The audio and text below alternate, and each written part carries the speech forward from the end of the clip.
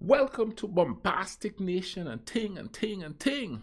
Back with some more vibe for all you. Yes, I. And, you know, we're going to look at uh, a little bit of geography now again. And this one is on Serbia. So it's geography now, Serbia.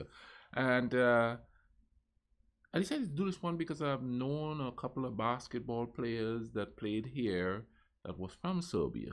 You know what I mean? So I decided let me check out uh, what Serbia is like and take, you know, see what the geography, history, and all that stuff is.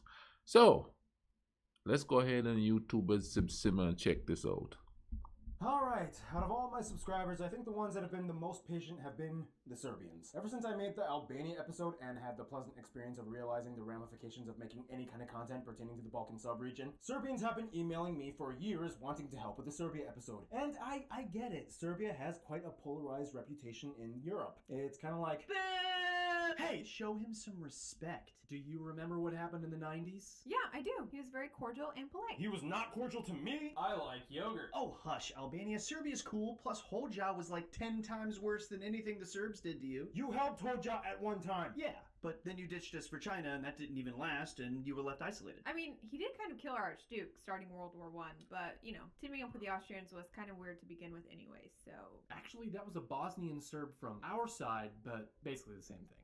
Huh? Serb Metallica, right. Oh yeah, great band. Yeah, quite a reputation. Oh, wow. It's going to be interesting. Hey everybody, I'm your host Barbs. So, as you know, I love having real people from the countries we cover in these videos. And with that, say hi to my friend, Ivan. Zdravo, brate! You know, fun fact, we actually went to high school. We didn't hang out at all. Not at all.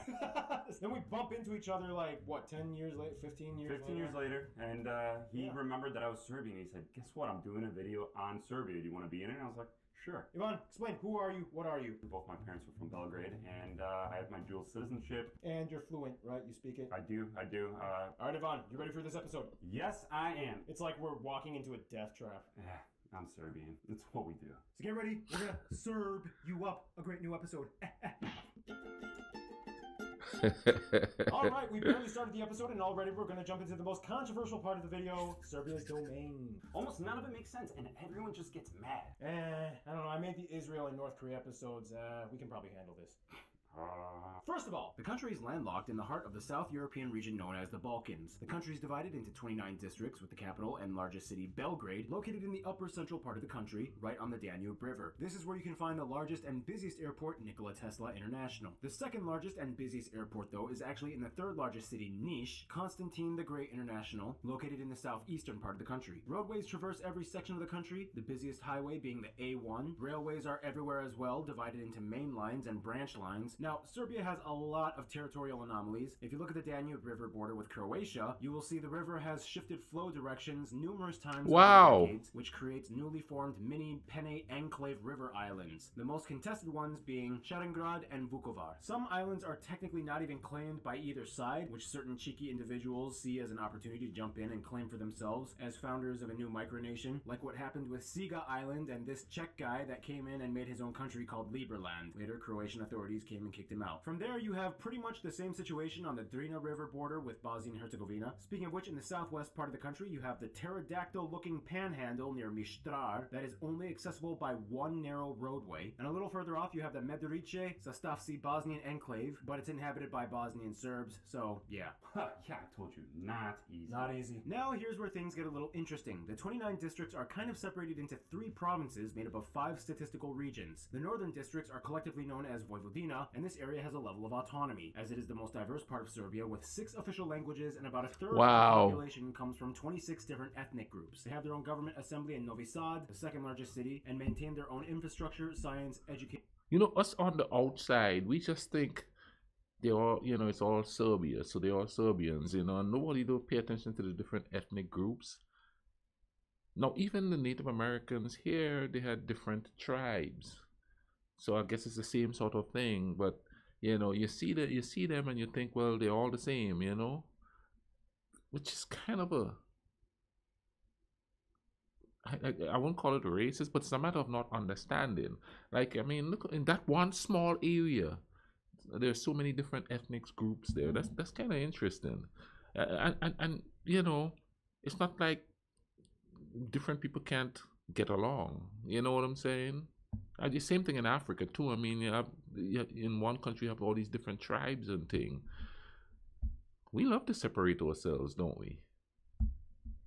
Education and culture laws. From there, you have the central Serbia area, which has three other statistical regions Belgrade, Shumadija, and western Serbia, and southern and eastern Serbia. And now, folks, here's the really complicated part. You've all been waiting for it. If you ask the Serbian government and many Serbians, they will consider this last area as part of Serbia, known to them as Kosovo and Metohija. Kosovo, which comes from the Serbian word for blackbird, and Metohija from Greek, meaning land of monasteries. The thing is, this area is about 90% ethnically Albanian, and after the fall of Yugoslavia, this area has been a hotbed of secessionist movement and controversy. And Serbian law, on paper, treats Kosovo as another part of Serbia. After the Kosovo War in 1999, the UN Security Council established Resolution 1244, which temporarily put Kosovo under interim administration under the UN, but technically placed Kosovo's status as a meaningful, autonomous, and self-administering region of Serbia's claim until all parties could agree on a resolution to move forward. The problem is, decades later, there have been no resolutions made. Legislatively, Serbia has almost no rule or influence on the area, and in 2008, Kosovo declared independence, but the Serbian government did not recognize it. It was even taken to the International Court of Justice, which ruled the declaration as not violating international law. Today, there is still a divided response from the international community. The recognition numbers tend to fluctuate over the years, some joining, some withdrawing. But as of 2020, there are officially 97 countries that recognize Kosovo as a sovereign state, about half of the UN countries. However, to be admitted into the UN, you need a two thirds majority vote, and if any of the main five nations veto, then the state in question cannot be approved. In this case, Russia and China have exercised their veto power. So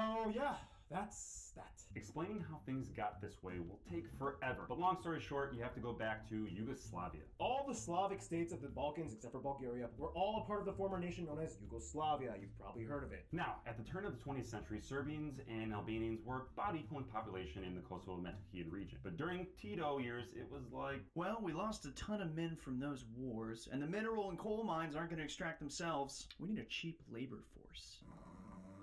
I'll just bring in some more Albanians. And from there, the Albanian population Wow. grew more, and by the end of the century, made up over 90%. in Yugoslavia Wow. public times, all the ethnic groups got along relatively well and at some point really did function like a pan-Slavic unit. In the last years, though, it was kind of like Comparatively, life is alright. I mean, we have basic life necessities, subsidized Medicare, and school's not bad. Hey, did you hear Tito died? Oh, I'm bringing back the motherland.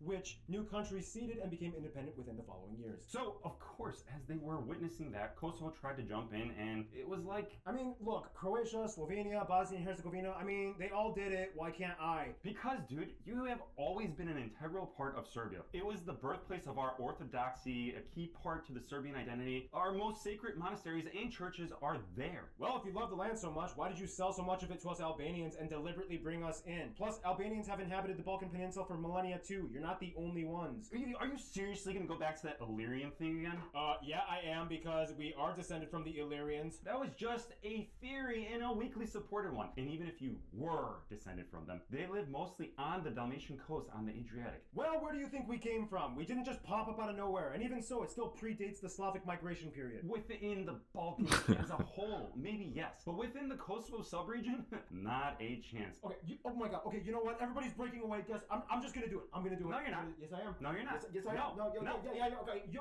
UN. Yeah, we just did that skit. For what it's worth, I wrote that skit based off of things that you guys, the Serbian and Kosovo Albanian geography gave me information. I wrote it off of that, so it's your fault. Alright, well, so today's day and age, Serbs live in isolated pockets throughout Kosovo as minorities. I actually got an email from Wow. Tamara, who is an anomaly. She's actually half Serbian, half Albanian. She goes to Kosovo all the time. Here's her explaining the experience. Hi, dear Pips. I'm Tamara from Serbia. Actually, I'm 50% Albanian because my father is Albanian and I have been to both sides. People, normal people that are not involved in politics and war stuff, they're trying to move forward. I pretty much felt welcome.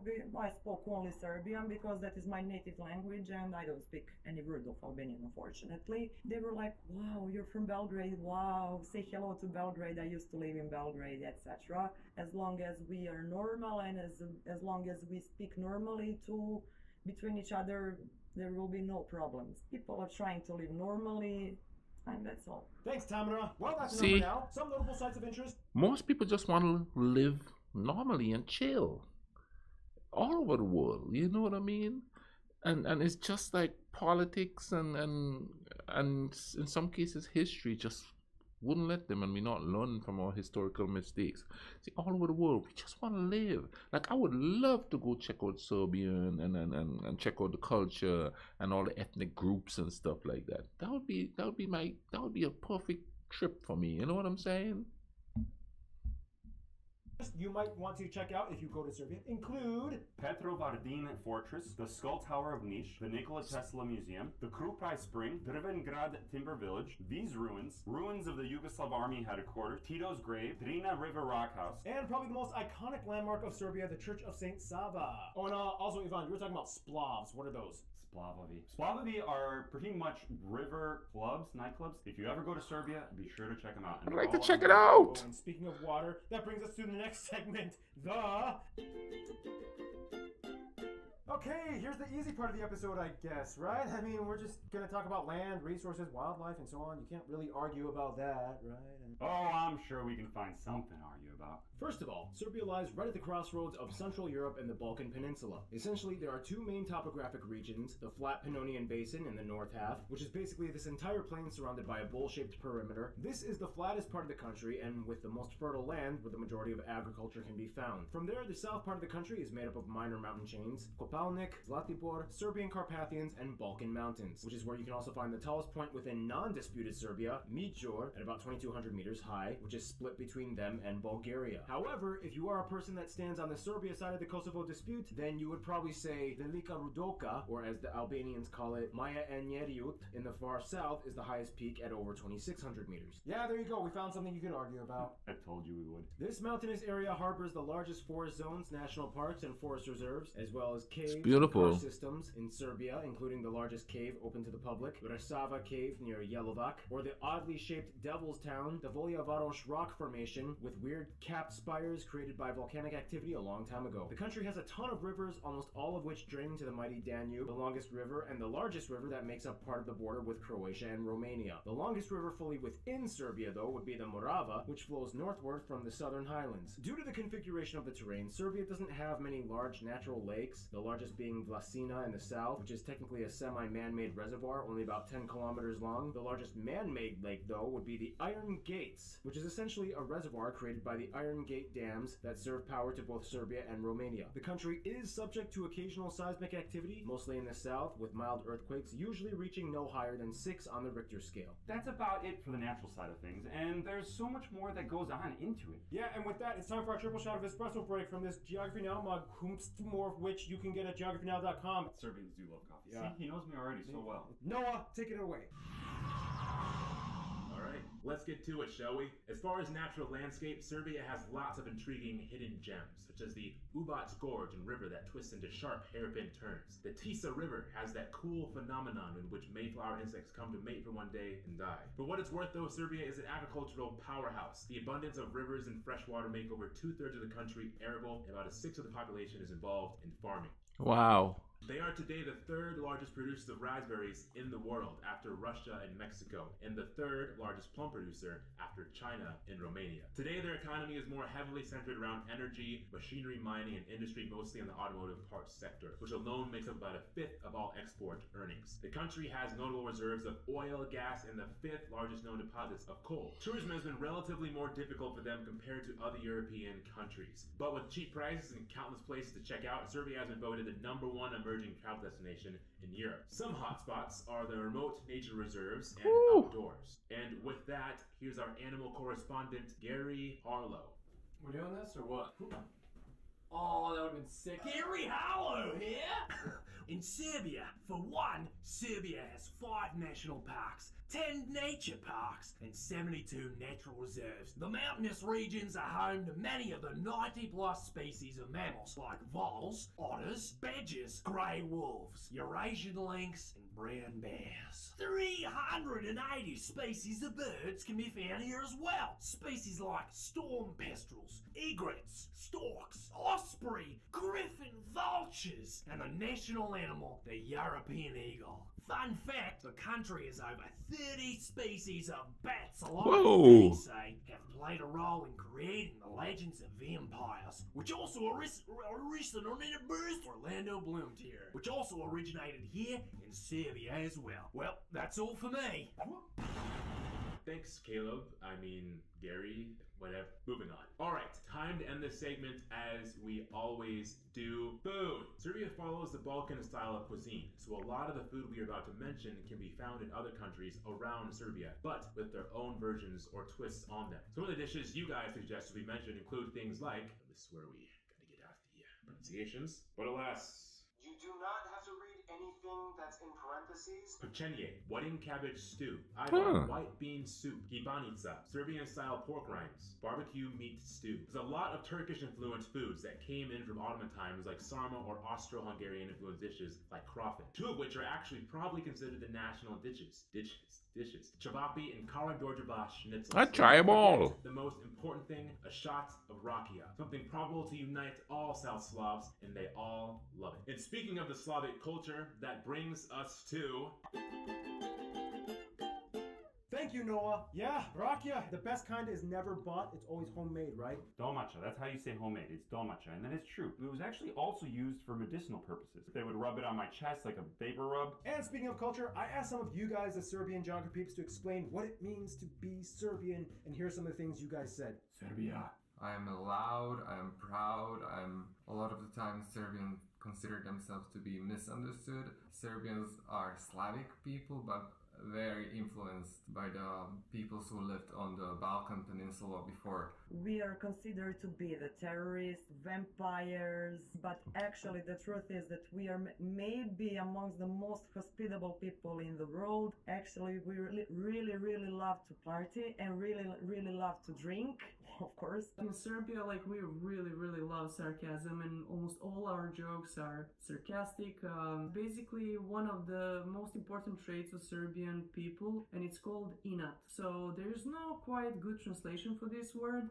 like a trait that makes you do or not do something just in order to prove something, in despite of something. About inat. Inat is something deep inside our blood. For example, you cannot climb that tree. Uh, you ain't gonna tell me what to do. I will climb, th- climb that tree right away. And just watch me. Serbians are great people, and I say this directly to the Serbian people. I wish that the Serbian people are more united with each other. Vreme je došlo da se držimo zajedno, prijatelji moji. Idemo ka pobedi. Veliki pozdrav. Thanks, guys. In any case, here's the demographic breakdown. The country has about 7.1 million people, not including the disputed area of Kosovo, which has about 1.8 million, and has one of the highest aging populations with an average age of 43 years Wow. old. About one fifth of all households consist of only one person. The country is made up primarily of ethnic Serbs at about 83%. From there, not including the Kosovo population, the second largest group would be Hungarians at about 3.5%, the Romani at 2%, and the rest are an influx of various other people groups like the Slovaks, Czechs, Croatians, Ruthenians, Romanians, most of whom live in the North Vojvodina province. In Serbia, they use the Serbian dinar as their currency. This is what they look like. Cool. Money, money. We like making it rain. Oh. Anyways, they use the Type C and F plug outlets, and they drive on the right side of the road. Now, of course, the official language Same way where I'm is from. Serbian.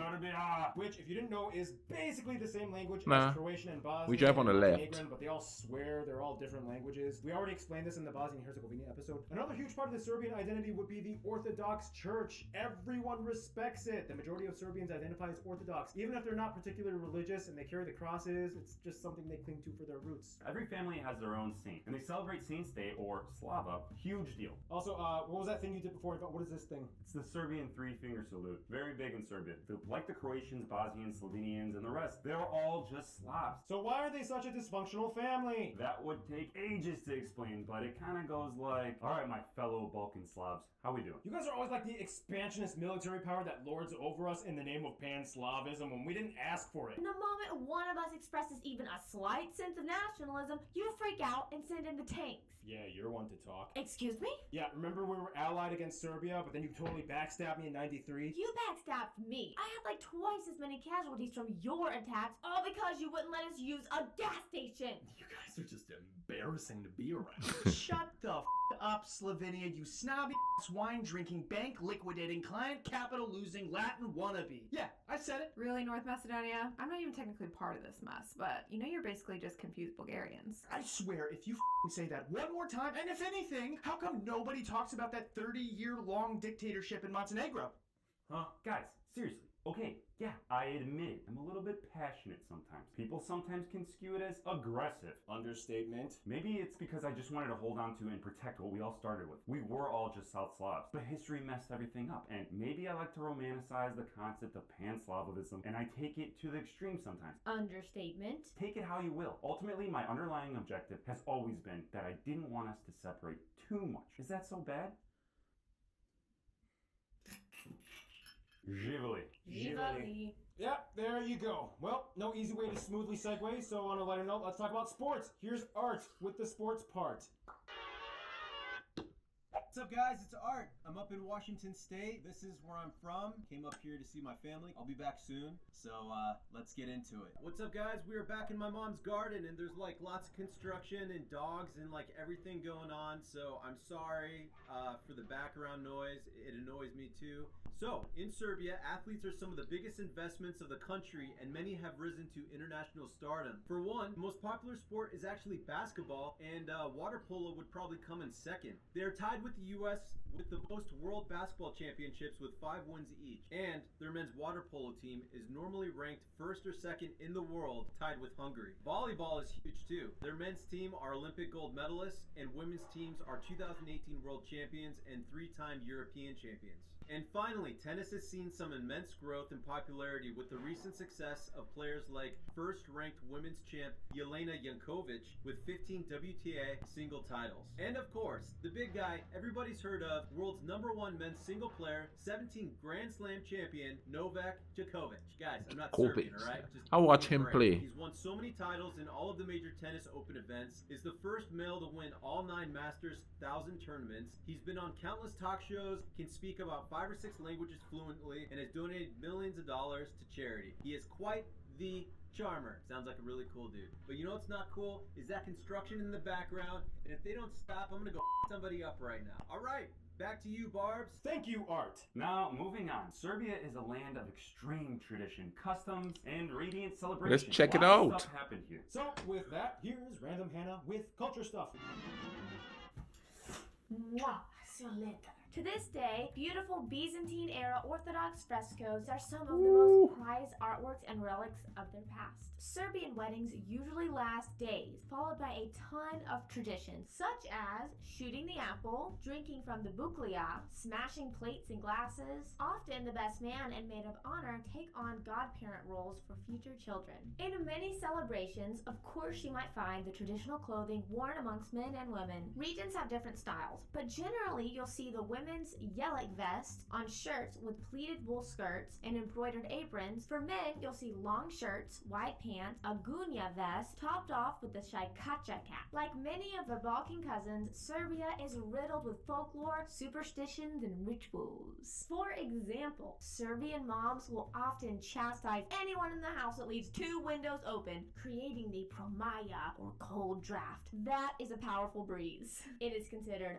bad luck to put any bag on the floor, especially a purse. Don't sit on the corner of a table, otherwise, it is said you will not get married. The Orthodox faith often uses the Julian calendar, meaning that for them, Christmas lies on January 7th. Loud church Oh. bells, firing guns in the air, eating off the Christmas bread. They even burn their Christmas tree. You know, to take it up, speaking of Christmas, comment down below and tell me what are your Christmas traditions where you're from and thing. I'd like to, you know, I think I asked that in another uh, video I do, but you know, it's a season.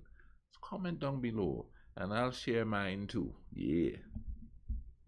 trees, or more like Christmas oak branches, and the better they burn, the more luck you will have. We do that in Alabama. Oh, you do? Yeah, we burn our Christmas trees. Put it in the like your outside fire pit. We don't think it gives you good luck. It's just fun. Serbian Christmas is quite a spectacle of sights and sounds. And speaking of sound, now we go to Keith's terrible music segment. Remember, buy this face at geographynow.com. I'll, I'll, I'll let people see my beautiful green eyes. Much of the traditional Serbian music is rooted in Orthodox acoustic choir vocals. Some of the traditional instruments include things like these things, and probably the most well known traditional instrument, the gusle. Usually, these songs are accompanied by the various types of Serbian traditional dance, the most commonly known one being the kolo, based on a simple 1 2 rhythm, but some other variants have more complex 7 8 rhythms. To basically explain it to you in a very simple way, I drew this really crappy drawing of what it would look like on sheet music. You could count it as 1 2 1 2 1 2 3 because you know 1 2 3 4 5 6 7. You got 2 and 2 and 3 and that makes 7, right? Simple math. Math. Excuse me, it's all that damn yogurt. Alright, in contemporary music, this dude is considered the founder of modern Serbian music. Since then, there has been a really interesting evolution that mixes traditional music with modern music. In fact, you can find it played at the Guča Trumpet Music Festival, the second largest music festival in all of Serbia. The other being the Modern Exit Festival. In fact, Serbia even won the Eurovision Song Contest in 2007. Serbians also are pioneers of ex-Yugoslavic rock bands. I'm gonna have to look some of that up. As described by geography Radosh, folk music on cocaine. And also, I highly recommend you all to check out David Maximicic. He is a wonderful human being. What bands from Serbia do you know? All right, thank you all. Wow. Thank you, Keith. And with that, here's the briefly condensed history segment. All those Greek, Macedonian, Roman, and Byzantine Empire things that predated the Slavs. The Great Slavic Migration in the 7th century. This dude is the first Serbian ruler. Christianity comes in. East-West schism. Serbs choose Orthodox. Lots of new kings, random battles. Ottomans invade. Centuries of small domestic conflicts. Russo-Turkish War. Serbian kingdom. Wow. Balkan Wars. World War One, Austria-Hungary pissed. World War II, Germany goes ham on them. Yugoslavia established. Decades of Yugoslav awkwardness, but it kind of worked sometimes. Dissolution of Yugoslavia. Kosovo War. Montenegro secedes. Country works on trying to stay afloat during underlying controversies by making an image of being the party capital of Europe. And here we are today. Some of the top notable people from Serbia or of Serbian descent that you guys suggested we mention in this episode include Too many former kings and royal family members. a bunch of other historical figures like these. Scientists and academics like these, and most of all, Nikola Tesla. Nikola Tesla is Oh. Serbian. He is no, Croatian. insert, Croatian, Croatian, insert, insert. So many actors and artists like these. One of the most notable ones being Karl Malden. And also there's that lady who survived like the highest fall from an airplane and survived. Fun fact, did you know James Bond was based on a Serbian guy? Anybody Oh, I did not know my that. 95 year old grandfather who still is painting Petar Mladenovic. Oh yeah, a lot of famous Serbs all over the world. And speaking of international affairs, that brings us to. Now, it's been said that during Cold War times, Tito was the only man on Earth that successfully danced between both sides of the Cold War. Today, outside of Europe, the USA, Canada, Argentina, and Australia have the largest populations of Serbs in diaspora. Many moved during Yugoslav breakup times, the largest community living in Chicago, Illinois, USA, which is interesting considering that the US was heavily involved in the NATO intervention of the Kosovo War. Nonetheless, the countries try their best to remain cordial. Now, of course, this means that Russia and China have been close as both stand on the Serbian side of the Kosovo conflict. China offers huge business and investment support, and Russia, as a fellow Orthodox and Slavic country, has always had a soft spot for the Serbs. They helped refugees during the Ottoman time and even gave them land in imperial territory of what is now Ukraine, called New Serbia and Slavo-Serbia. In Africa, South Africa is probably the closest friend as many South African resistance fighters trained in Serbia during the apartheid years, and today about 20,000 Serbs live in South Africa, mostly in Johannesburg. Nelson Mandela was even made an honorary citizen of Belgrade. Closer Oh, wow. Because of historical controversy, Croatia and Bosnia are on paper enemies. But in reality today, when people from these countries meet, it's like everything drops and they're just Balkan Slavs. The only difference is the religious background and maybe a few minor cultural differences, but otherwise they get each other. When it comes to their best friends, however, most Serbians have told us two countries, Montenegro and Greece. For Montenegro, it is often said the two are two eyes in the same head. They share lots of history, they saved each other many times in wars, lots of people intermarry and have property or businesses in both countries. And even though Montenegro is pushing a separation from Serbian identity movement, they can't deny the closeness they share. For Greece, not only do they share the Orthodox thing, but they've always kind of helped each other in history, whether it was against the Ottomans or Greece being the only NATO country to refuse cooperation in the Kosovo dispute, standing with Serbia. Today, most Serbs go to Greece all the time for vacations, where they are welcomed with open arms. They share the same laid back, dark humor, and when they meet, it's like an instant connection of powerful Balkan bond few nations in the world can understand. And for the conclusion, I think, uh, Ivan, you should take it away. Whoop. Centuries of dramatic events have led to the Serbia today that is stuck in between moving forward with one hand grasping to the glory days of the medieval Serbian kingdoms that are a frequent source of inspiration. So many things that have happened, yet nobody gets a full answer, and nobody fully wins anything. In the end, we're just a group of South Slavs. That's all we can say. We are Serbs. Živeli. Givali. Stay tuned. Seychelles is coming up next. Not X. Wow. See, I've, I've always been in kind of interested in that little area there with all those little, uh, all those not little countries, but you know, all those countries there all together, sort of pretty much landlocked. You know what I mean? Uh, it's it's kind of it's kind of a shame that they have to be fighting so much because I mean they have some serious history, some serious traditions, some serious culture that that that seems quite appealing to me. You know, I'd love to go check it out and stuff.